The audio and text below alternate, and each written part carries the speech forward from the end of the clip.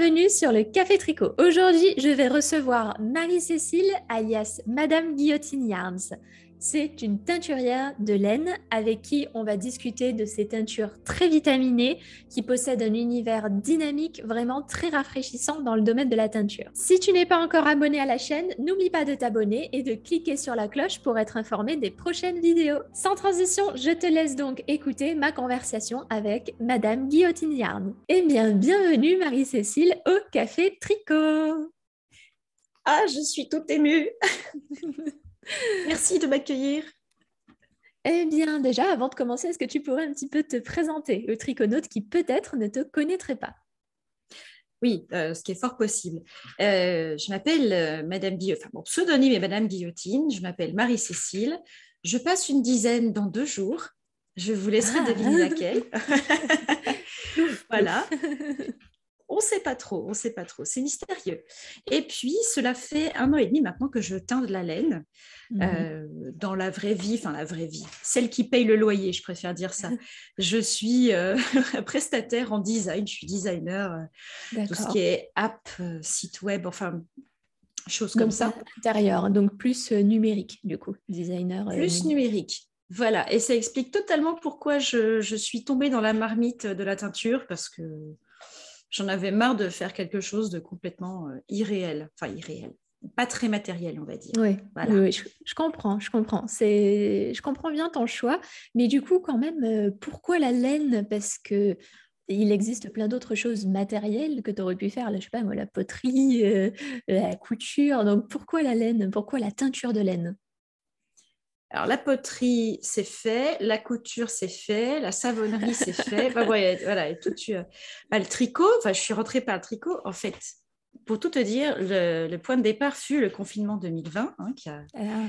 le premier confinement de mars 2020. En fait, j'ai eu une angoisse. Je me suis dit, mais je vais manquer de laine. la fameuse. je, vais manquer de laine. Donc, la meilleure solution, enfin, en tout cas, celle qui était le plus logique euh, à, mes yeux, c'était de me dire, bah, j'ai qu'à l'atteindre. Bah, tout simplement. Bon, enfin, tout simplement.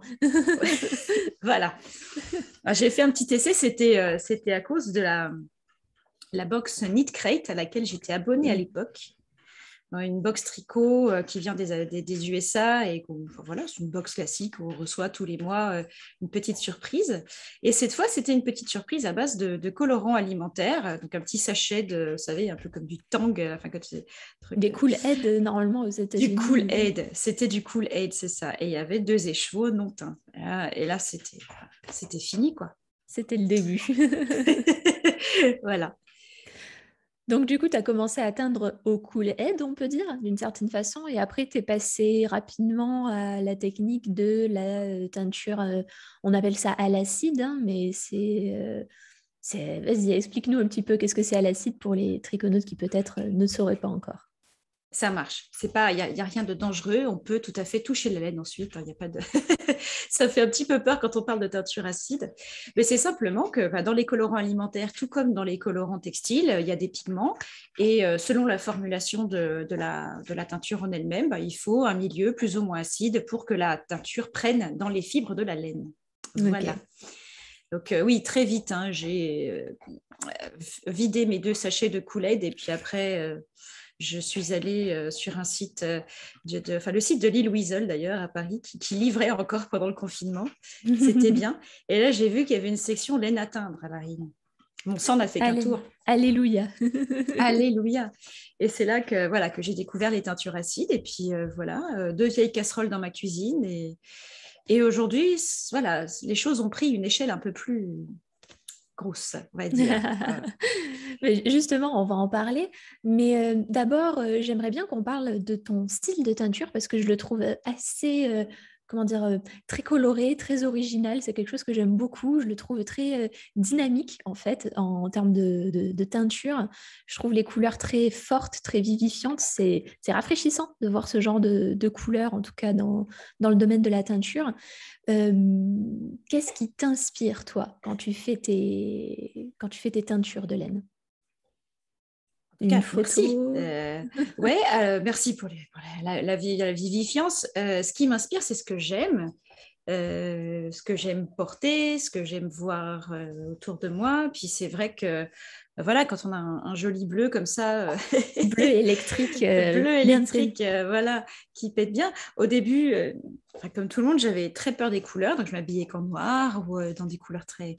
Puis finalement, je sais pas, il y a quelque chose. je me suis dit, la vie est trop courte il faut, il faut, il faut se faire plaisir euh, et, j'aime bien les couleurs vives. Et quand elles sont dosées avec, euh, avec attention, euh, voilà, c'est pas le but de s'habiller uniquement avec des pulls fluo, quoi. Mais parfois, ça met un petit petite coup de dose.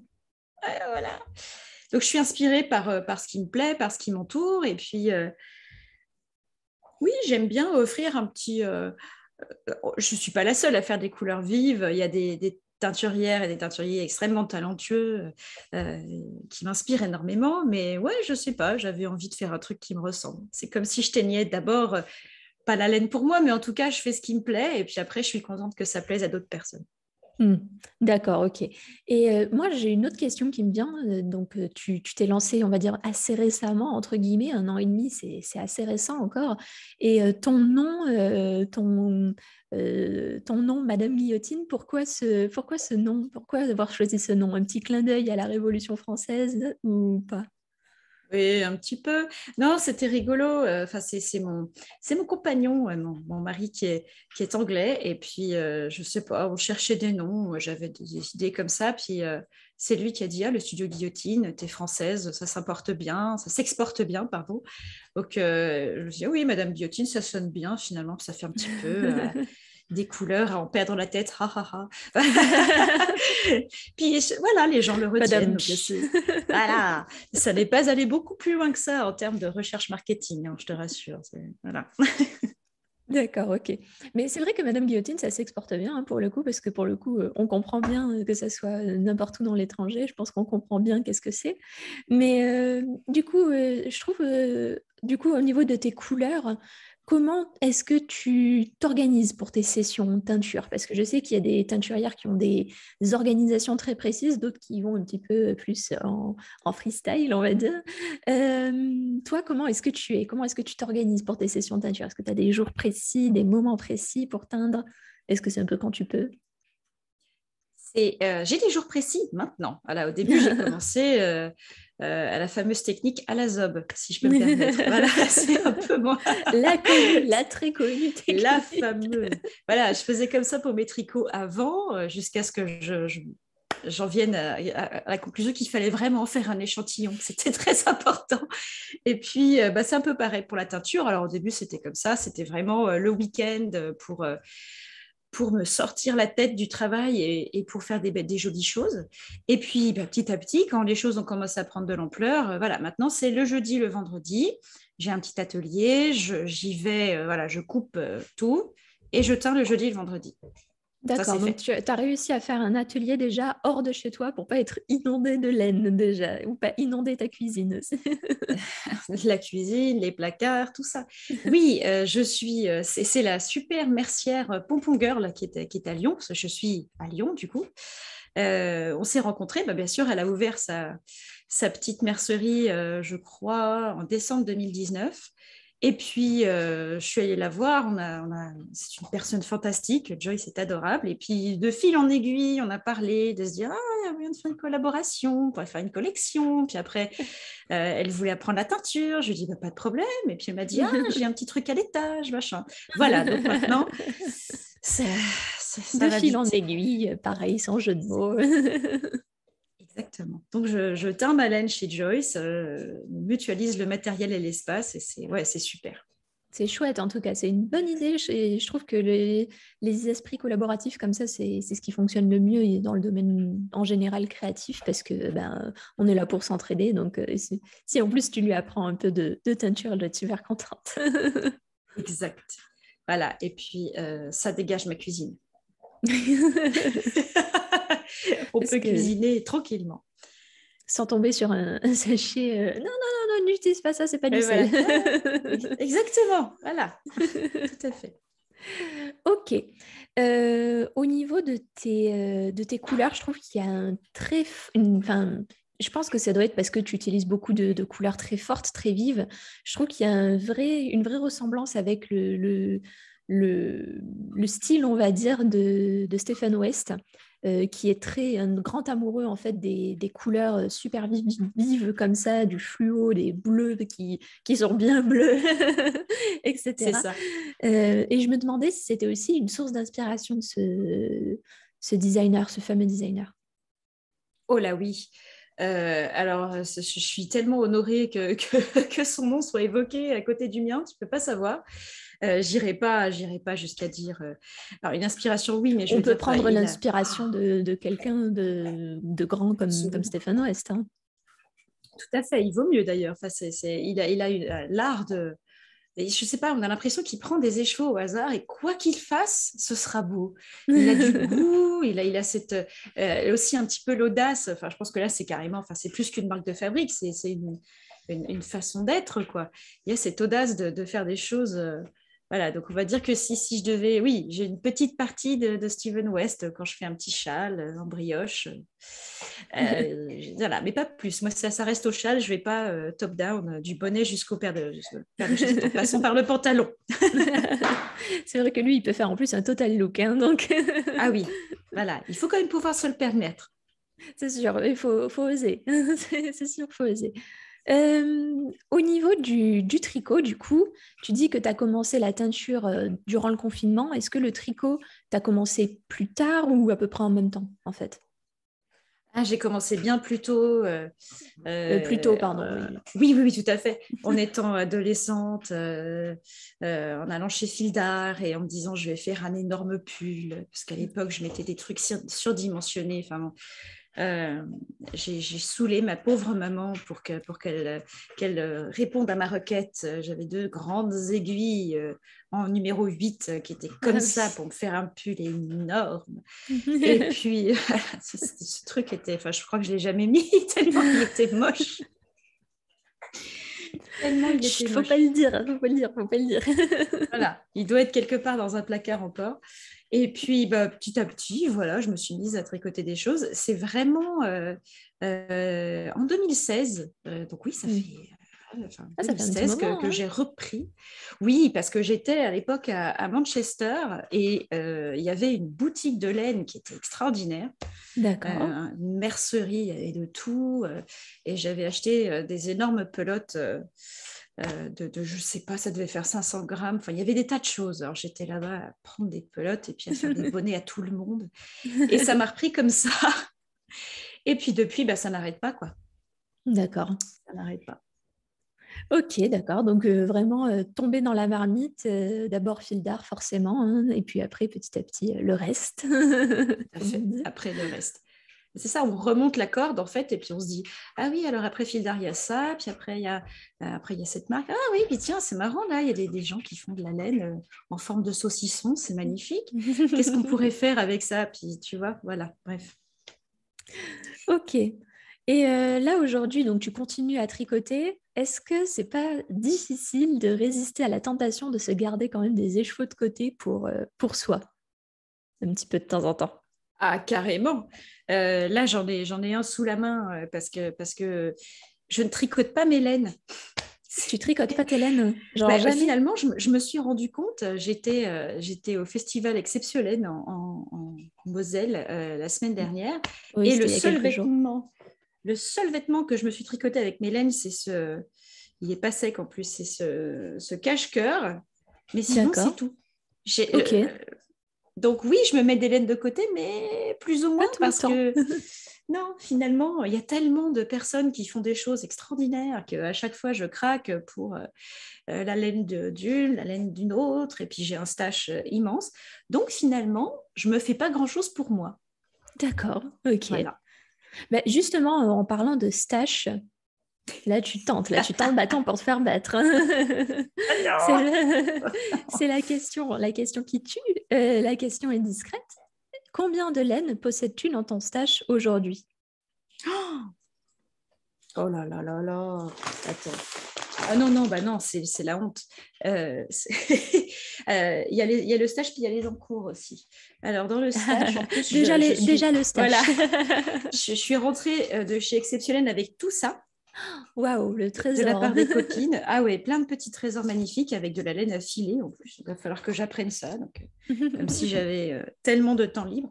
Et puis là-bas, j'ai un petit meuble. Euh, ça, tu sais, un de ces poufs de chez, de chez Ikea. avec du, en forme de, grillage. tu peux le remplir de choses. Donc, il est complètement rempli de laine. Dans la laine J'ai de tout. J'ai beaucoup trop de laine. Mais je me dis qu'un jour, elles serviront. Ben, tu as bien raison. Et puis, euh, au moins, tu as une bonne réserve. Ça, on ne sait jamais, en cas de cataclysme, euh, voilà, tout va bien. Mais euh, on dit souvent, le tricot est une compétence post-apocalyptique, hein, donc pourquoi pas? Tout à fait. On, sera, on sera ready en chaussettes, il n'y a pas de problème. ok, donc ça c'est au niveau du stash. Et tu dirais, du coup, là, bah, tiens, qu'est-ce que tu as sur tes aiguilles en ce moment? Du coup Qu'est-ce que j'ai sur des aiguilles? Euh, J'ai deux choses. tiens, tu vois, je vais, je vais mentir parce qu'il s'avère que je tricote une de mes laines. Il faut que j'arrive à l'attraper. Hop là. Une chaussette. D'accord, super voilà. Côtelée, Pour l'instant, voilà, une chaussette très très classique parce que j'ai fait, euh, enfin j'ai teint deux trois dégradés, tu sais, euh, sous forme de, de socle blanc. Donc je prends un écheveau de laine, je le tricote au tricotin, un tricotin géant. Voilà, je fais une énorme, grande chaussette qui fait, qui fait 2,50 m, un truc dans le genre. Et puis ensuite, bah, je la teins en dégradé. Voilà, je la teins en dégradé. Alors, je vais essayer d'attraper la pelote originale. Elle est là. Hop. qu'à la fin, je vais arriver à faire du bleu. D'accord, Et là, pour l'instant, j'en suis. Euh, tu vois, ça commence tout juste à être vert. C'est surtout une chaussette pour euh, montrer ce que ça donne, parce qu'on a parfois du mal, tu sais, à se rendre compte de ce que ça va faire quand on voit euh, un Surtout sous forme, euh, ou même sous forme de blanquette, carrément, il y en a qui... Alors, blanquette, c'est couverture en anglais, mais c'est vraiment le terme qui est utilisé pour, pour cette technique de teinture. C'est... vraiment, ça peut être sous forme de nappe carrément. donc parfois, c'est vrai que ça peut être un peu perturbant de se dire, mais attends, là c'est sous mmh. forme de nappe, il va falloir que je détricote ça, que je remette ça en pelote. D'accord, ok. Je vois pas trop qu'est-ce que ça peut donner, mais ça peut être cool.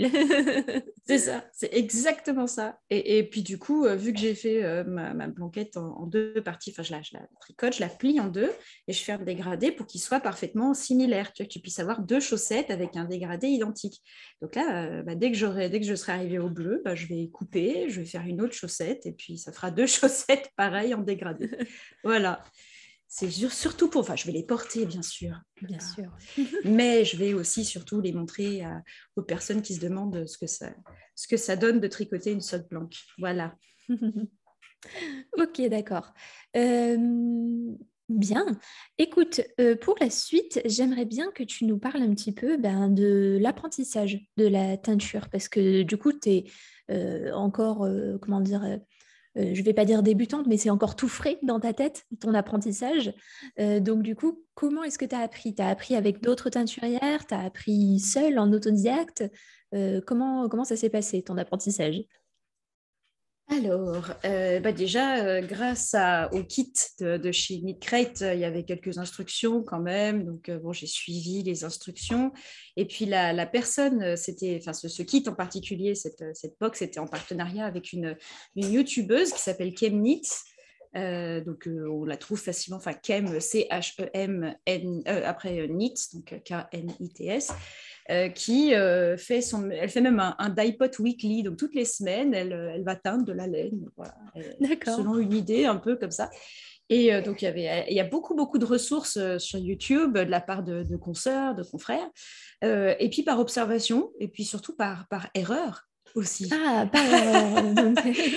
ouais, je sais. Il voilà, faut plus accepter les erreurs en teinture qu'en tricot, tu dirais? Oui, parce qu'en teinture, tu ne peux pas défaire. C'est ça le problème. Tu ne peux pas défaire. Euh, au pire, bah, tu reteins en noir. oui, voilà. ça m'est arrivé, mais pas très souvent quand même. Je, je, touche, je touche du bois.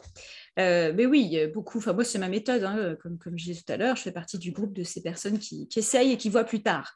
Donc, euh, je me suis mise. voilà, je me suis lancée, j'ai fait quelques. Puis, c'est juste, surtout, c'est une méthode qui marche bien dans le, dans le craft et dans les arts et dans les, dans les hobbies. Tu essayes de reproduire euh, ce que tu aimes bien, ce que tu as vu. Mhm. Et puis, bah, au bout d'un moment, euh, ça fait un truc sympa. Voilà. Donc c'est un peu la, magie de la teinture, un petit peu. Hein. C'est oh, chèque, chèque, chèque, chèque, chèque, chèque, et voilà, un truc joli. Ou un truc faire un mais... voilà, tout à fait. Ah non, c'est vraiment magique. Hein. Il, y a, quelque chose de, vraiment, enfin, je ne sais pas comment l'expliquer. Euh, moi, ça, ça, me, ça me ravit le cerveau. Quand je trempe un écheveau dans de la teinture et qu'il ressort. C'est satisfaisant. ah oui, une belle couleur comme ça, tu as vraiment l'impression d'avoir euh, le travail bien fait. Enfin, à la fin de la journée, voilà, tu étales tes écheveaux sur, euh, sur ton, ton, ton étendage. Ah ouais, c'est beau, ça fait plaisir. Donc, je suis toujours en apprentissage, du coup. J'apprends tous les jours. Je peux pas je dire. considère que, de toute façon, on est toujours tous en apprentissage permanent. Hein, donc, c'est. Ah oui, c'est un des secrets de la vie. Bah, sinon, ça serait quand même euh, vachement ennuyant quand même au bout d'un moment. oui, c'est ça. Et puis, il faut être ouverte et ouvert à... apprendre de nouvelles choses tout le temps. Quoi. Moi, je ne sais pas tout. Euh, il y a des trucs que je ne sais pas encore faire. Mais mm. finalement, euh, bah, ça va. Pour l'instant, je me débrouille. Voilà. bah justement, on parlait des, des, réussites et des ratés. Quels seraient ton plus gros euh, Est-ce que tu as eu un gros échec du coup euh, en teinture? Et si oui, lequel? Et si tu as une laine euh, dont tu es la plus fière, laquelle c'est? Alors attends, le plus gros échec en teinture. Est-ce que c'est un échec ou non? C'est pas un échec, mais j'ai jamais, non, j'ai jamais, jamais sorti quelque chose d'une marmite en me disant qu'est-ce que c'est que cette horreur? Que, la grande déesse du, tricot m'en préserve. Euh... la teinture, teinture aussi. de la teinture également, tout à fait, de la grande déesse de la laine. Euh, j'ai eu, enfin, les, les, ratés, on va dire, c'est plus au niveau de ma, de ma, gestion du temps et euh, euh j'ai une des couleurs que, que j'aime beaucoup faire d'ailleurs, mais que je m'en suis dégoûtée du coup, c'était une couleur en plusieurs étapes où je fais, enfin, je teins d'abord un dégradé, donc j'installe mes écheveaux dans un bac. Je mets du jaune, du rose, du rouge, voilà, du, euh, qu'est-ce qu'on a après euh, Du violet, du bleu, du vert. Et ensuite, donc, je, fais, je fais cuire ces écheveaux parce que la teinture, euh, ça marche comme ça, en fait. On, on met la laine pré-trempée dans un bain de, d'eau avec un petit peu de vinaigre blanc. C'est pour ça qu'on dit teinture acide. Ça, pardon, ça réagit à l'acide. Et puis, euh, bah voilà, il faut que ça cuise. Enfin, il faut que ça cuise. Il faut que ça chauffe un petit peu. Donc, on est autour de 60, 80 euh, degrés, pas plus. Il ne faut pas non plus faire cuire la laine comme si c'était un steak. Euh, et Même un steak, je suis pas sûre que tu le fais cuire à 80. je sais pas. Non, non, non, ce serait non, je pense... une semelle. voilà, je pense pas que ce serait super bon. Donc voilà, je fais ce premier bain avec un bel arc-en-ciel et puis après, je reteins chaque écheveau euh, avec un, voile noir, on va dire. Euh, D'accord. Une, couleur qui s'appelle Goth Rainbow, donc euh, l'arc-en-ciel gothique. et puis, très beau. Enfin, moi, j'en étais très, très contente. J'étais vraiment là, je dis, allez-y, commandez-moi du Goth Rainbow. Et puis, j'ai tellement... Au début, je je, laissais euh, tout le monde avec grand plaisir me faire des commandes de teinture à la demande. Et puis, je me suis laissée envahir par le Goth Rainbow à un point tel que j'y passais mes week-ends entiers à faire juste du Goth Rainbow. oh mon Dieu Et au bout d'un moment, je me suis dit, euh, non, plus jamais. Ou en tout cas, plus pour un petit moment ça va mieux. Là, je le, je le teins, je le, je le teins parfois quand j'ai un, un, regain de courage. Voilà. Je me dis, allez, je vais faire un batch de Ghost Rainbow, c'est parti. Mais euh, voilà, on va dire que c'est un petit peu l'échec parce que ça me prenait euh, ouais, une journée entière pour faire euh, six écheveaux de Ghost Rainbow. Enfin, c'est pas. Ouais.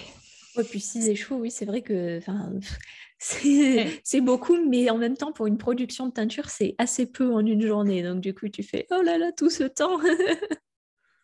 C'est exactement ça. Surtout quand on a 15 à faire, euh, parce que tu as, plusieurs personnes. Après, je suis très contente. Je suis ravie. Là, ce week-end dernier, j'ai enfin vu en vrai euh, le, gilet qu'une amie a tricoté avec six écheveaux de, de Goth Rainbow en qualité Aran. Donc, euh, vraiment en grosse laine. C'était magnifique. Super été. Ça, voilà, ça fait tellement plaisir. Mais bon. Et puis, tu me disais la couleur dont j'étais la plus fière. Ah, je l'aime quand même bien, ce bleu-là. Il est cool. J'essaye du coup de, Ouais, et, j'essaye de le décliner. C'est-à-dire, bah, j'ai un vert aussi, donc euh, c'est des. J'essaye de faire des mélanges. C'est pas la teinture pure. J'essaye de, prendre certaines couleurs. Voilà, bah, mon, le vert que je voulais obtenir, c'était un vert que je trouvais pas, enfin que je trouvais pas ailleurs, en tout cas que, que je voyais pas trop ailleurs. Donc, je mélange trois types de, de, couleurs pour arriver à mon, à mon vrai dosage c'est de pas, vert. voilà. C'est important de le dire parce qu'il y en a beaucoup qui pensent oui, voilà, la teinture, je prends de la poudre, je mets, mon, je mets dans l'eau et puis voilà, ça fait ma teinture. Non, non, non, il y a des mélanges de teinture enfin, savants pour pouvoir avoir la couleur qu'il faut. C'est ça. C'est pour avoir des nuances un peu sympas. Sinon, voilà. Alors bon, autant le, rose fluo, bon bah c'est, c'est du, voilà, c'est du fuchsia. Enfin, il a, lui, il sort de la boîte. Lui, il sort de. Voilà. Mais, tout va bien. Mais il y a des couleurs où il faut un peu plus de, nuances. Exactement. Là, j'étais en train de, justement, je cherchais un, un, flamant rose, on va dire un rose flamant rose, et donc je suis tombée sur cette formule-là. Donc il faut bien noter dans ces cas-là. Ça, c'est, c'est-à-dire que c'est encore une des erreurs qui, qui m'est arrivé de faire. Et voilà, celui-là, je l'ai trouvé, je suis contente, il est, il est sympa. Euh, on verra ce que ça donnera. On verra si... fait penser un peu à la couleur euh, Malabar, un peu aussi. La couleur un oui, Malabar. Exactement, voilà. Donc ça, c'est du, c'est, de, c'est des essais, puis après, il faut arriver à les reproduire. Et là, c'est un peu plus compliqué. Mais oui, parce que justement, comment, euh, comment tu t'organises à ce niveau-là? Tu as un cahier de teinture en disant, ben voilà, tel coloris, euh, je me mets un petit échantillon euh, pour voir à quoi ça ressemble, et puis après, il faut faire telle, telle, telle, telle, telle, telle, telle, chose dans telle quantité, etc., etc., comme une recette de cuisine, en fait. Absolument j'ai mon carnet secret avec toutes mes, enfin, toutes mes recettes. C'est pas vraiment un carnet secret, enfin, voilà, c'est un carnet. Genre, j'imagine le truc cadenassé et tout. ne regardez pas, voilà. Non, non, du tout. Euh, et par contre, ouais, il faut bien noter. Alors, j'ai des, enfin, je m'étais fait un, un, panel d'échantillons euh, avec des petits écheveaux de 10 grammes. Enfin, j'avais consciencieusement euh, récupéré quelques grammes de, de, de écheveaux que j'avais teints euh, pour me faire un arc-en-ciel. Il faut que je le mette à jour parce que du coup, quand je fais de nouvelles couleurs, bah, voilà il faut les mettre dans l'arc-en-ciel. Et puis, à côté de ça, oui, je note euh, consciencieusement, bah, voilà, pour trois écheveaux, cette fois, j'ai fait ça, donc je mets la date. Je me dis, euh, voilà, ce verre-là, ici, j'ai mis ça, ça, ça, euh, sur tel type de base, pour trois écheveaux, pour quatre écheveaux. et puis après, j'essaie de, de, faire les choses bien. Et quand on m'en redemande, eh ben, je, je fais les mêmes. Voilà, enfin, j'essaye oui, parce que c'est jamais de toute façon tout à fait les mêmes. C'est, il me semble que la température de la pièce, euh, le, le, le, fait si l'eau elle est un petit peu plus acide ou un petit peu plus euh, calcaire, ça a eu un impact aussi sur la teinture. Enfin, il y a beaucoup de, de tout petits éléments comme ça qui sont pas forcément gérables et qui, qui ont un impact en fait sur le, le résultat de la teinture. Ah oui, oui, enfin euh, tout, même, enfin voilà, peut-être pas le temps de, cuisson, mais par exemple, euh, parfois avec, quand on fait des couleurs, quand, je fais une couleur unie, je commence euh, sans acide, donc je fais tremper ma laine quelques heures si je peux, et puis après je la baigne dans de l'eau à peine tiède avec la teinture, voilà, comme ça les pigments ont le temps de bien s'imprégner dans la laine avant que l'acide vienne et les fasse rentrer dedans. Mais parfois, bah, ça dépend. Euh, quand tu réutilises un bain ou quand tu. Voilà, parfois, de. J'essaie vraiment de minimiser ma consommation en eau, ce qui n'est pas forcément euh, facile parce que bah, faut euh, faire tremper, rincer, tout ça. Et, donc, parfois, je réutilise un bain. Donc, il, est possible. Le, je crois que ce n'est pas tellement les couleurs unies qui sont le plus compliquées à reproduire, c'est les coloris avec des speckles. Ah oui. Ces fameux coloris avec des petits. Euh, ah, chez les triconautes, il y a des amoureux et des amoureuses de speckle. Hein, donc, euh, Oh oui J'en ai plus, alors j'en ai pas sous la main, mais euh, voilà, c'est que c'est cette technique quand on a, on a, les chevaux devant nous et puis on va saupoudrer des pigments pour faire des toutes petites pointes de couleur. Mini pointes de couleur, ouais, c'est bien pointe de couleur. C'est plus petit que des taches, hein, donc c'est vraiment des une saupoudrage presque. Ce que j'en ai dans mon stash, euh, voilà. Donc on va faire des toutes petites, euh, des, petits, des petits machins. Ah oui, j'en ai une là. Hop là. Euh, par exemple. Ouais, voilà. Une petite tache de couleur bleue. Voilà, sur du blanc. Euh, donc on fait ça, mais, mais bon, euh, je vais pouvoir, euh, si je fais, enfin, je, vais pouvoir, même si je dose en fait, même si je dis je prends un gramme de poudre que je vais saupoudrer sur trois écheveaux, je ne peux pas calculer exactement où, va, où vont se poser les. les... Voilà, il y a un moment, ça reste à la main. Après, il y a des marques hein, de laine qui réussissent à faire euh, des choses extrêmement. Enfin, c'est fait à la machine après, c'est tout calculé à la machine. C'est comme si on imprimait la laine euh, avec des couleurs. C'est là où on fait des chaussettes avec des vrais motifs qui se retrouvent limite. je crois que ça se fait aussi avec du jacquard. Oui, oui, des, des, fils à chaussettes type jacquard où en fait le jacquard se fait tout seul en fait. Se fait tout seul, exactement. Jacquard entre guillemets parce que du coup c'est que de la teinture, mais c'est c'est bien fait. oui, voilà, c'est surprenant. Non, nous, les teinturières à la, main, non, on ne peut pas faire ça. c'est pas possible. Oui, là, c'est des machines euh, qui font au laser et tout pour que tout soit bien cadré. Bien, euh, donc, euh, non, je pense que ça va être trop galère. non, non. Oh non, puis j'en voudrais pas. ça me plairait pas, je crois. Tu préfères vraiment le côté, euh, bah oui, c'est pour ça que tu l'as fait en fait. C'est vrai, vraiment le côté manuel, euh, c'est ça qui t'attire chez, chez, la teinture. Oui, c'est ce côté un petit peu, enfin pas imprévisible, parce qu'on essaye dans la mesure du possible de prévoir, mais euh, il y, a, y, a, ce côté très relaxant de se dire, il y a une part d'incontrôlable, et puis c'est pas grave, voilà, on fait de son mieux.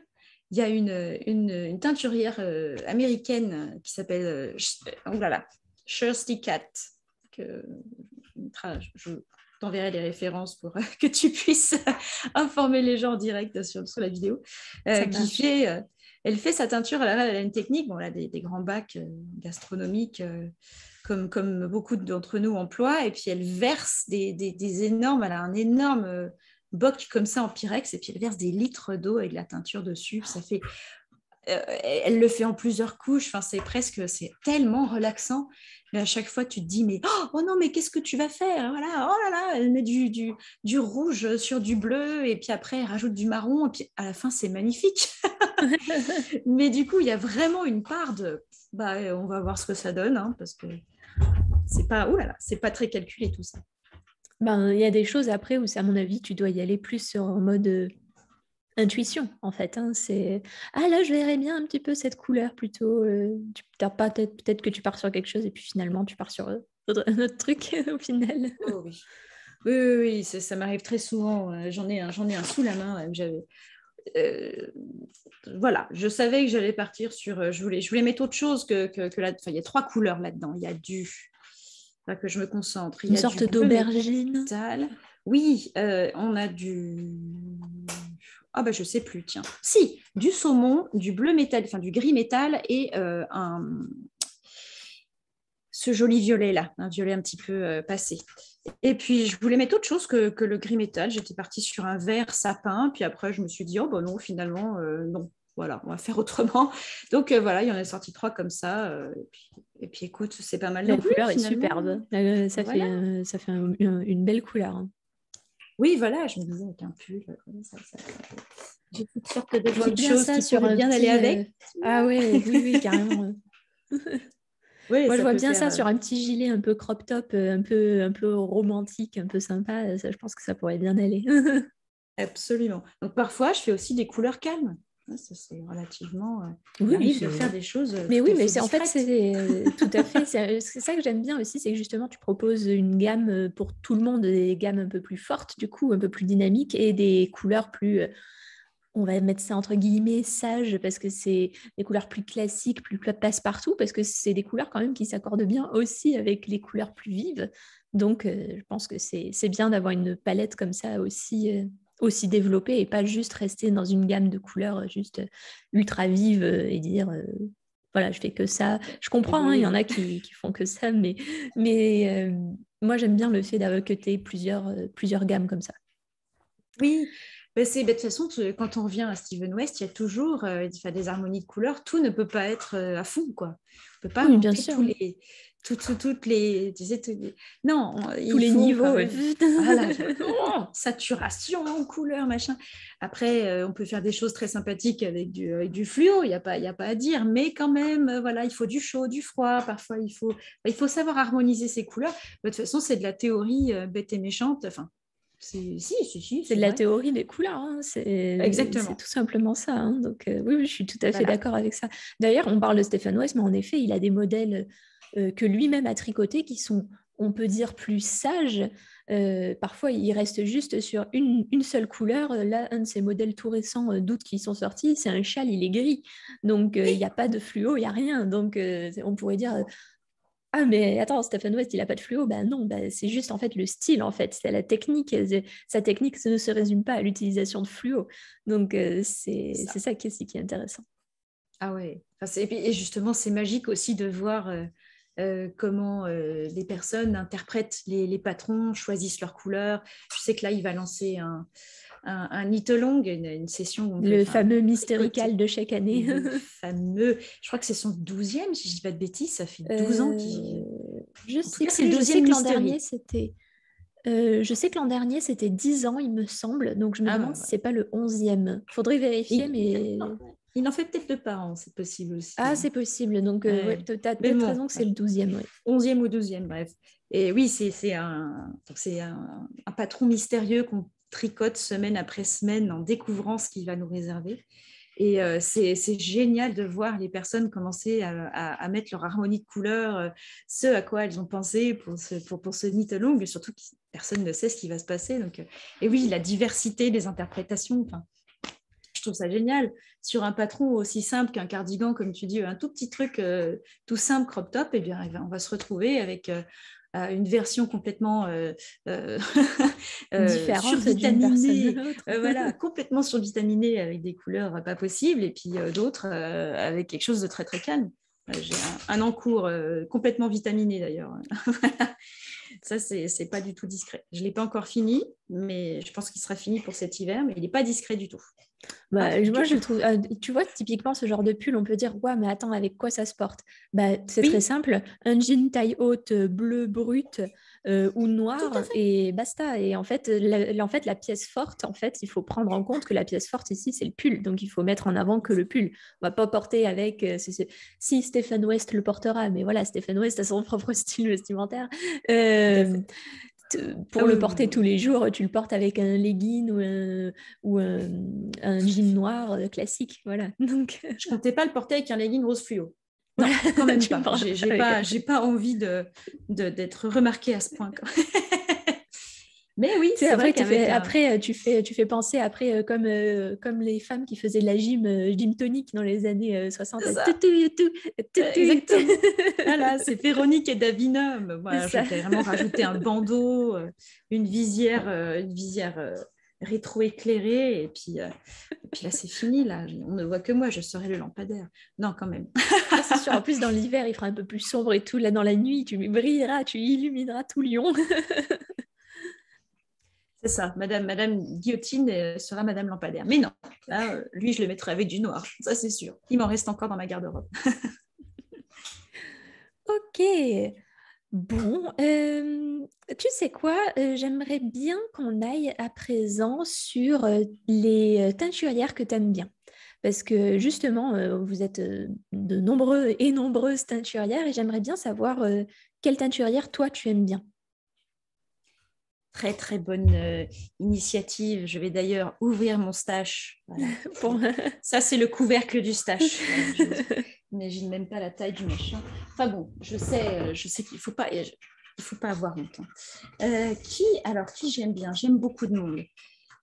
J'aime beaucoup de monde. Il y a une personne, bah, du coup, que j'ai eu la chance de rencontrer ce week-end à Exceptionnel, qui est Trélise et qui fait des choses extraordinaires. Euh, enfin, de toute façon, à chaque fois qu'une qu confrère ou qu'un confrère euh, fait de la laine, moi, je suis, je, suis là, oh, mais c'est tellement beau Parce que je n'y ai pas pensé, donc forcément, je me dis, oh, cette association de couleurs est extraordinaire. donc, euh, ah oui, donc, je lui ai pris ça, ce petit duo-là, que je vais, je ne sais pas ce que je vais en faire, mais j'en ferai quelque chose, hein, ça c'est certain. J'aime beaucoup aussi certaines personnes. voilà, j'ai un écheveau de chez de Fiber Fox euh, qui est une teinturière anglaise. Euh, j'aime bien leur acheter des choses comme ça euh, de temps en temps. c'est sympathique. voilà, je me dis qu'est-ce que j'ai pas ça dans mon stage tant qu'à faire. Est-ce que j'ai un écheveau? J'en ai un de. Mais non, chérie, je sais que j'ai déjà du bleu, mais là, c'est pas bleu, c'est bleu pétrole. Donc... Exactement. Ah non, non, non. Il n'y a personne n'a rien à dire dans la maison. C'est moi qui décide ce qui Ça, c'est un petit écheveau de chez, de chez Fly Dye de Rachel, pareil, qui est, qui est teinturière euh, anglaise et qui est plein de. Bon, alors là, pour le coup, c'est plein de couleurs. Je, hein, je veux pas dire. Ça fait penser au bonbon berlingot. Exactement. Et il s'appelle euh, Summer, Summer, Summertime. Ben, il apporte bien son nom. Et puis, je sais pas qu'est-ce que j'ai d'autre? Il y avait aussi Quintess Blaze, une, une teinturière anglaise, mais bon, c'est pas. Euh, et puis j'aime aussi beaucoup ce que font. Euh, enfin, j'aime beaucoup les couleurs de Malabrigo. Je dois en avoir là. Voilà, j'ai ce super il y a des, couleurs. Euh, voilà, il y a des très jolis, des très jolis mélanges ah chez Malabrigo. Ça, c'est ça, c'est extraordinaire. Enfin, c'est ce travail de speckling est complètement incroyable. Et je vais du coup en faire un pull avec ça. Voilà. Ah, c'est sympa. Décidé. le mélange est sympa. Exactement. Il y avait un tout petit peu de, de, vert dans, ce, vert, dans cet euh, Voilà. Coton vert, et le reste, euh, et ou mélanger les deux en fait. Ah oui, oui, ce sera, ce sera de la brioche. Il y aura la, majorité du pull sera verte et puis après il y aura une petite, petite truc en brioche par-dessus. Je vois tout à fait comment ça va. ça va être chouette. Voilà. Après, il y a plein d'autres personnes, enfin, euh, grandes fans de Hedgehog Fibers en Irlande. Euh, et puis il y avait tellement de monde exceptionnel, de personnes extraordinaires. Euh, la fée Ballot, à qui j'ai encore acheté. Oui, Marie, on lui fait des bisous. Voilà, euh, j'ai découvert les laines Delphine. je suis super contente parce que c'est bah, de la laine de, brebis de, de Mérinos d'Arles. Ah, oui, oui, et, donc Florence, oui, exactement. Florence euh, surveille, enfin, euh, c'est pas surveille, mais en tout cas, elle s'occupe d'un troupeau justement de, brebis mérino et elle a ses propres brebis, elle, euh, des brebis galloises. Et donc, c'est voilà, elle fait filer la laine de ses brebis et, je trouve ça tellement chouette. voilà. C'est super cool. si je m'écoutais, je pense que je partirais avec elle dans la montagne garder les brebis. voilà, c'est trop beau. Ok, c'est super, on a vu plein de monde. oui, c'est chouette. Oh, puis non, il y en a tellement d'autres. Enfin, si je pouvais. Euh, Beaucoup d'inspiration britannique quand même. Hein, je, je, je vois. C'est. T'es resté un petit moment en Angleterre un petit peu? Je suis restée un petit moment. Euh, ah, l'Angleterre et moi, c'est une grande histoire d'amour, surtout euh, bah, au niveau de la laine. J'y suis restée euh, à peu près un an et demi, euh, en tout et pour tout. Enfin, on va dire un, an où j'ai habité à, Manchester et puis après j'ai fait des voyages. J'étais tout le temps dans une valise. Et oui, il y a une tradition de la laine là-bas. Ils ont vraiment. Alors, il y en a une en France aussi, mais l'Angleterre a su garder quand même son industrie. Il y a encore des filatures. Mmh. Euh, il y a une super filature euh, avec qui, euh, enfin, je, leur ai envoyé un petit email pour savoir s'ils seraient d'accord de me, de me vendre un petit peu de laine. c'est John Arbonne. Alors, je sais pas, ils sont, ils sont vers Dover, donc c'est le, sud. Oui, j'allais dire, c'est plutôt le sud hein, Dover. Oui. Tout à fait. Et, ils ont rénové leur propre machine de filature, euh, des, une vieille machinerie euh, euh, vraiment d'époque, quoi. Et ils font ça, une petite équipe avec des laines locales. Enfin, c'est juste, moi, ça, oh, j'ai juste envie de partir. c'est très chouette. Ils, ont vraiment une belle industrie. D'ailleurs, pour ma part, moi, je ne teins quasiment que de la laine anglaise, de de la race, enfin d'une race précise. Euh, qui est le, Blue Face Leicester. Euh, je n'ai pas de, de photo de ces fameux BFL. Le fameux, fameux BFL, tout à fait qui est légèrement différent du Mérino. Enfin, Mérino, c'est Mérino. Hein. Euh, le BFL, bah, c'est une race, du coup, pourquoi je teins ça? Parce que je sais que, du coup, c'est des moutons qui sont, dont la laine est, vient de petites fermes anglaise. Je sais qu'il n'a pas fait trois fois le tour du monde. En général, euh, soit il y a des filatures euh, locales en Angleterre, soit c'est envoyé en Italie. Donc, euh, c'est pas non plus l'Amérique du Sud. Voilà. voilà, on reste dans l'Europe à peu près. on, fait un peu moins de kilomètres. Et puis, mon but, ce serait forcément de, faire le plus local possible, mais avec le temps, hein, on n'est pas non plus pressé. Et oui, le BFL, il a vraiment des qualités, enfin en tout cas la laine du BFL a des super qualités. Euh, c'est une laine qui est légèrement plus brillante, plus lustrée. Euh, là, bah, celle que je vous ai montrée tout à l'heure avec les petits speckles, là, il y a un mélange de soie et de BFL. C'est parfaitement luxurieux. Voilà. c'est très, super doux. ce mélange ah est super doux. Et il y a un drapé, ben, le cardigan que je vous ai montré, euh, c'est de, de, la soie BFL. Et vraiment, il y a, il y a, un super, un petit détail de jacquard sur les manches. Là. Je me suis bien amusée. Avec la soie BFL. Et c'est très chouette, voilà. Donc l'Angleterre a beaucoup de choses, enfin de belles ressources. Bien sûr, l'idéal ce serait de, de, teindre de la laine française. J'y travaille tout doucement, voilà avec le temps, il faut déjà que j'arrive à me tirer un salaire de mon activité. Après, on verra. Je suis sûre que ça va venir. Donc, euh, euh, pour euh, là aujourd'hui, tu as combien de bases aujourd'hui? Si on est intéressé pour prendre, te prendre laines, tu as combien de bases différentes? Alors, j'ai pas mal de bases. enfin, c'est quasiment que du BFL. Les, seules petites entorses que je fais, c'est voilà un petit peu de, suri, suri silk lace. Donc là, c'est bébé alpaca, enfin baby alpaca. Donc c'est pas des pas des bébés alpaca ton c'est la, première tonte en fait. voilà. quand il y a du lieu, là, mais qu'est-ce que vous faites au bébé alpaga Laissez-les tranquilles. tranquilles. non, non, euh, ça c'est. Euh, donc euh, il y a de la soie dedans, voilà, donc, parce que c'est, j'adore, c'est d'une beauté extraordinaire, c'est doux comme, comme un nuage. Et la ça, c'est super doux. Ah oui, j'adore. Enfin, j'aime aussi le mohair, hein, il n'y a pas de problème, mais voilà, tant qu'à faire. Euh. et puis des petits coloris comme ça, euh, euh, tricotés soit avec, avec une, base comme ça unie, soit avec du blanc, enfin je sais pas quoi, bah, ça donne des, très jolis résultats. c'est la seule, enfin c'est une des seules entorses. Après, effectivement, j'ai bah, la base 100% Blueface Leicester, donc ça c'est la base classique, classique, Blueface Leicester, qui prend la couleur comme comme rien d'autre. Ah, les, les, couleurs sont d'une vivacité, j'adore ça, enfin, c'est beau. Euh, c'est beaucoup moins mat que le mérino. Le mérino, il a un côté très très doux, mais c'est plutôt mat comme fil. Presque parfois. Le BFL aura tendance à briller plus, un peu comme une, pas comme une boule de, pas comme une boule de la facette, mais pas très loin. Donc. oui, c'est ça, exactement. Ça brille beaucoup plus. Donc la couleur ressort encore plus. Après, j'ai bah, cette base là qui, a, qui, a, qui est tweedée. Donc on a des petits, des petits inserts en en acrylique euh, ou, dans différentes matières. Enfin, euh, petite note au triconote, attention à ne pas confondre les laines tweedées et les laines avec speckles. Hein. Les laines tweedées, il y a des petits ajouts de laine de couleurs différentes et la laine speckle, c'est que des petits euh, saupoudrages de couleurs. Voilà, ça c'est du speckle. on voit bien la, base blanche avec des petites des petits éclats de couleurs. Le tweed, bah, en fait, à la base, euh, c'est un fil blanc avec des petits, des petits éclats. Donc, il y a du noir, du marron et du, et du crème. Et moi, je teins ça avec une couleur unie et ça donne ce fil euh, qui, a des, petits inserts euh, de temps en temps de, petits bouts de couleur. Ça, c'est la base BFL Tweed. J'ai aussi une base BFL avec du bambou. Alors, c'est trop bien aussi. C'est trop bien. Ça, pour l'été, ça doit être sympa. Exactement. Euh, tu, tapes dans le mille. Euh, l'avantage, c'est qu'il y a 20% de bambou et que ça rafraîchit le tricot, en fait.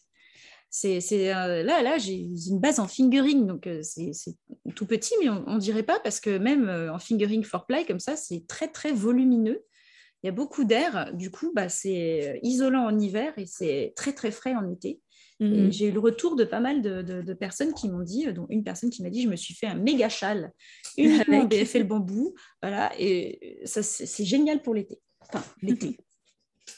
La mi-saison quand même. La mi-saison, La mi-saison. Et puis bah, finalement, euh, j'ai la, base avec de la soie. Où est-elle? Bah, C'était celle que je vous avais montrée, la boubou. Où est-elle? Oh, je me perds. Euh, la base avec de la soie. 50, bah, celle avec le gilet. C'est ça, 55% euh, Blueface Leicester et 45% euh, soie. Donc ça fait beaucoup de soie. On ne voit pas trop, mais ça, ça brille beaucoup. Oui, ça, la soie va faire briller encore plus euh, vraiment ce, mélange-là. Donc, Ah oui, ah oui, puis c'est plus drapé plus plus plus. c'est incroyable, c'est vraiment très agréable. Bien sûr, j'ai des bases à chaussettes. Hein. Ça, c'est du fil à chaussettes classique avec 25% de nylon certains esprits chafouins diront que le BFL est un petit peu moins doux que le Mérino. Je ne suis pas d'accord. Euh, on n'est quand même pas sur du chanvre, hein, donc. non, ah oui, oh, loin de là. Voilà, on n'est vraiment pas sur un truc. Je ne suis, pas tout à fait d'accord, mais ok, je comprends. je comprends la vie. Mais faut vraiment avoir les pieds sensibles. Donc, euh, les, pieds les plus sensibles sentiront la différence. Tout à fait. Une petite différence, parce qu'en plus, avec 25% de nylon, ça va, c'est correct. voilà. Je trouve, que, je trouve que le BFL euh, fait bien son job. Ok, c'est chouette. En tout cas, euh, c'est un bon parti pris, je trouve. En tout cas, un parti pris intéressant. Et écoute, euh, Marie-Cécile, je pense qu'on va aller tout doucement vers la fin de notre café tricot. Est-ce que tu aurais euh, des conseils déjà à donner aux triconautes qui nous écoutent? Ne vous lancez pas trop vite dans la teinture car c'est très addictif. enfin, si, lancez-vous, lancez-vous, euh, lancez-vous euh, autant que vous le, vous Trigger souhaitez. warning, attention, c'est addictif. Exactement, quand on dit tomber dans la marmite, c'est complètement ça. Moi, je suis tombée dedans. Euh, il m'a fallu, il m'a fallu quelques jours, hein, vraiment. Hein. Je me suis dit, j'ai trouvé un truc. Et pourtant, encore une fois, la grandesse du tricot et de la laine sait que j'ai essayé tous les loisirs créatifs du monde voilà, je, suis de graphiste de formation, donc euh, je n'ai jamais arrêté de, faire des trucs. Esprit créatif de base, donc. oh là oui, oui, oui, oui, un peu trop. Euh, donc euh, là, il n'y a rien qui calme la teinture. Autant il y a plein d'autres choses. C'est vraiment, il y a quelque chose de magique et c'est à porter en fait. C'est relativement facile et sachez que, que, si vous souhaitez commencer, bah, trouvez-vous simplement, euh, ne serait-ce qu'une pelote de laine, euh, tant qu'il y a, euh, on va dire, plus de 50% de laine dans votre pelote, il y a des teintures qui, enfin la teinture va prendre. Et c'est tout simple de commencer avec simplement des, colorants alimentaires. Mmh Donc, on va dans, la première, dans le premier supermarché, on trouve les petits, vous savez, les petites... comment, les petits flacons de teinture alimentaire et, et, ça suffit avec un petit peu de vinaigre blanc, juste ça. Voilà. Donc, euh, pour 2 euh, litres d'eau, on met 15 euh, millilitres de, vinaigre blanc à peu près, ou 30, je ne sais plus. je connais mon métier, n'est-ce pas? C'est juste que, voilà. et, et ça, je suis une experte. je, blague. Voilà. je blague, je blague. Non, non, c'est moi qui. Oh, j'ai tellement l'habitude de remplir mes trucs et puis je connais mes Mais en fait, c'est ça le truc, c'est qu'après, au bout d'un moment, quand tu as tellement l'habitude, tu fais ça presque les yeux fermés, tu fais bon, allez, un bouchon, le bouchon, tu sais même plus combien il fait, mais tu sais, un bouchon. Voilà, je sais que c'est le bouchon. C'est le bouchon, c'est la petite dosette, elle va bien. Mais c'est vrai que c'est quand même hyper facile et vous pouvez commencer à teindre bah, la couleur qui vous plaît ou euh, si vous voulez un rouge pétant, bah, du coup, vous prenez du rouge pétant.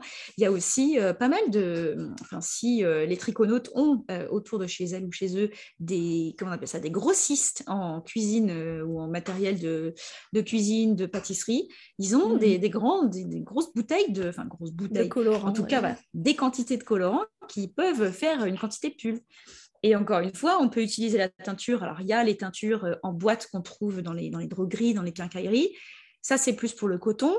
Euh, pour la laine, la teinture alimentaire, ça marche. Teinture alimentaire, vinaigre blanc ou acide citrique. Si, euh, imagine, tu as un pull qui ne te plaît pas trop, il y a plus de 50% de laine, pas de problème, on peut tenter de, le recouvrir un avec, petit tour, un petit tour au supermarché. voilà, exactement. Et puis ça nous fait un joli bleu marine euh, si, on a envie, par exemple. S'il était bleu clair et qu'il était moche, eh ben, on peut rajouter du bleu et, et, ça fait du bleu marine, par exemple. Petit conseil quand même, si on se met à la, euh, un petit truc, euh, si on se met à la teinture, peut-être lire un tout petit peu sur les, les théories des couleurs pour comprendre les mélanges un petit peu. Euh, si on met, si la, laine est noire, ça va être difficile de reteindre par-dessus. Euh, c'est exactement ça. c'est vraiment comme du calque, c'est comme du papier calque ou du papier vitrail euh, avec lequel peut-être toi aussi tu t'es amusé pendant ton enfance. J'adorais ça. Il faut vraiment imaginer ça comme des, des, des, couches La peinture transparentes. Quand tu fais des mélanges de peinture, du rouge, du jaune, ça fait de l'orange. Voilà. voilà. Exactement ça. Et du coup, euh, si on veut euh, reteindre, euh, bah, c'est marrant parce que cet écheveau-là, par exemple, il est reteint. Peut-être qu'on voit un petit peu, je ne sais pas si on verra les différences à l'écran, mais c'est un, donc un, un, écheveau vert un peu profond qui était en fait rose et jaune. Alors, ça se voit absolument pas. Ça, ça se voit pas du tout. C'est sûr, quand tu regardes un petit peu de près, tu verras qu'il y, y, a des côté un petit peu différent. Enfin, c'est pas moi qui ai, qui qui fait le. J'allais dire, il y a des nuances de vert foncé dedans, mais c'est, j'aurais jamais Exactement. que c'était rose et jaune à la base. voilà. Donc, euh, je, c'est, par contre, euh, il reste encore un petit peu, enfin, si on regarde correctement, il y a des endroits où euh, vert plus rose, ça fait plutôt marron. Donc, il n'est pas complètement vert, il des endroits marron. Et puis, les endroits où il y avait plus de jaune, là, c'était plus vert sapin, enfin, vert, vert printemps. Donc, voilà, si, si, je teins un pull bleu avec du jaune, bah, ça fera du vert. Ça, on ne peut pas y échapper. ok. Et enfin, est-ce que tu aurais des livres, des ouvrages, des podcasts, des blogs à recommander aux triconautes qui nous écoutent?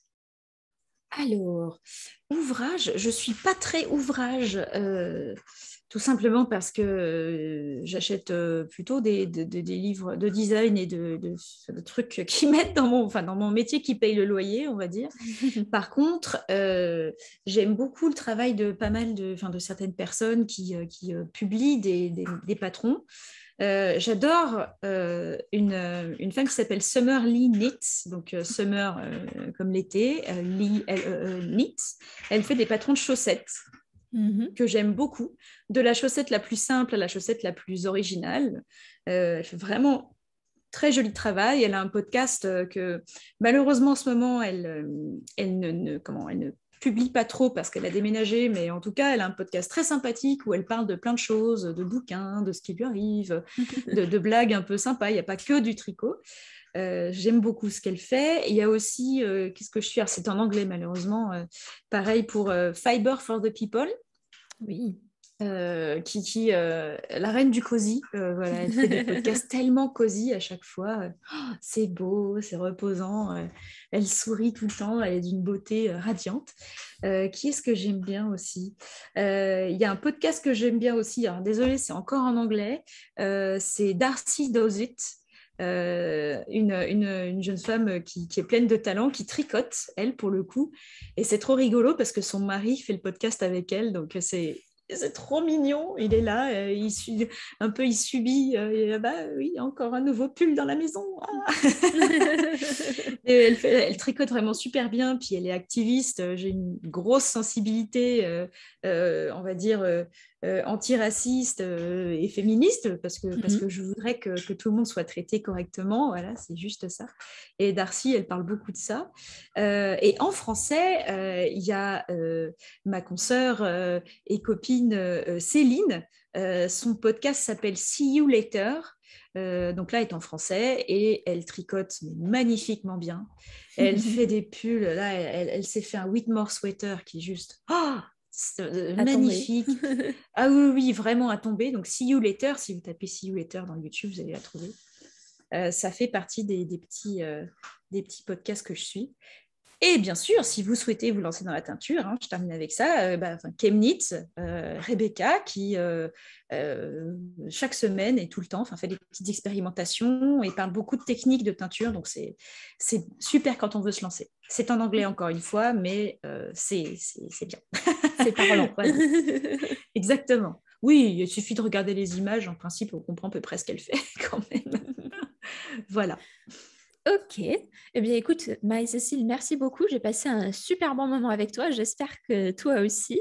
ah oui, merci à toi. Euh, ouais, c'était super. De, Je, n'en reviens pas. je suis honorée, vraiment. Bah écoute, ça me fait super plaisir en tout cas de t'avoir en café tricot et euh, de découvrir encore plus ton, ton univers parce que je, en fait, je t'ai découvert sur Instagram euh, sur un live, je crois que tu faisais, et j'ai dit oh punaise, elle, en fait, à la base, je me suis dit, elle ressemble trop à, comment elle s'appelle? Euh, la, fille dans Suicide Squad. Euh, la, oh, Harley Quinn Harley Quinn, je dit, elle ressemble trop à Harley Quinn en blonde comme ça, avec son rouge à lèvres. Elle a l'air super sympa, je vais écouter ce qu'elle fait. Donc j'ai écouté et ça m'a bien plu. Et après, j'ai découvert ton, ton, univers et j'ai trouvé ça super chouette. Donc du coup, euh, voilà. Il faut honorer. Alors là, si, si je pouvais être aussi euh, belle et jeune que l'actrice qui joue Harley Mais bon, ah, la comparaison dit pas la dizaine. On a dit quand c'était pas la dizaine. Ah non, non, non, non, c'est pas la dizaine. Ça peut être 10, ça peut être 20, qui sait. Merci beaucoup à toi en tout cas. Je, suis très contente, très très contente, très honorée. Ben, c'était un plaisir.